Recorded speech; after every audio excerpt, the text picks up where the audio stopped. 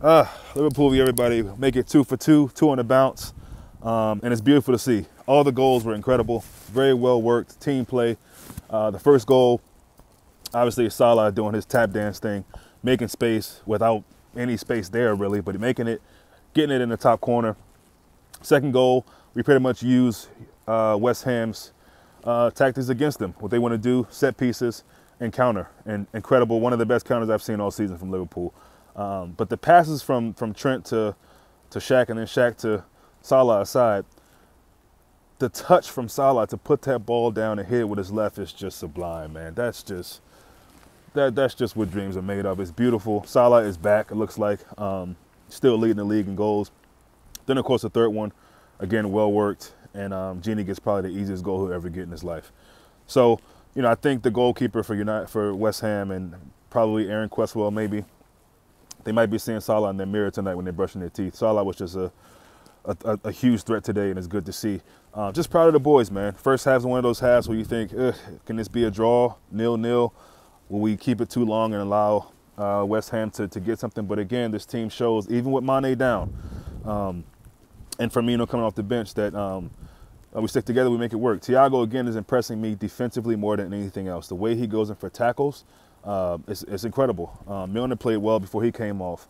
Um, Ox had some moments um, where he was looking good. Curtis Jones, as soon as he came on, we scored a goal. So um, just really, really proud of the team because it seems like every game now there's an issue. There's somebody that's not starting because they can't play or who was going to start.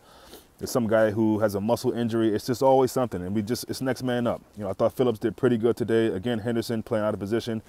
Um, the maturity, the strength we're showing now. We're putting the, the the the five games before Tottenham behind us, and we're just bouncing back. And this is the right time to do it. You, this is a weekend where, you know, you see what United do, you see what Leicester do, and you knew we just had to get three points. A draw wasn't going to be good enough. A draw wasn't. It wasn't a week where you can say a draw is better than a than a loss. A draw is just as good as a loss right now, just as bad as a loss right now. So, just proud of the boys, man. Gini's showing what he does.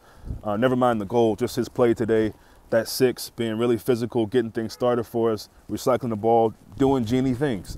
Um, and yeah, just happy for the boys, man. I think, um, you know, just continue to show that mentality, that hard work, um, not allowing maybe some negative things in the game to go against you. Um, and you need something like that. You need somebody like Salah to step up like he did and get that goal. And again, the, the smallest amount of space. I don't know how he's able to get those kind of goals, man. It's just, it's incredible, incredible. Legendary stuff there. So, um, no, again, two in the bounce.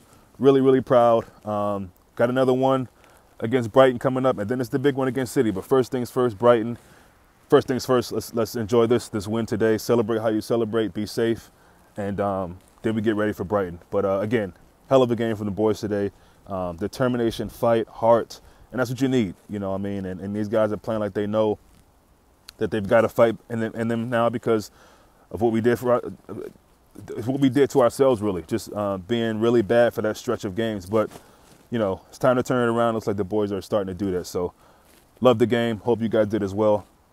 See you next time.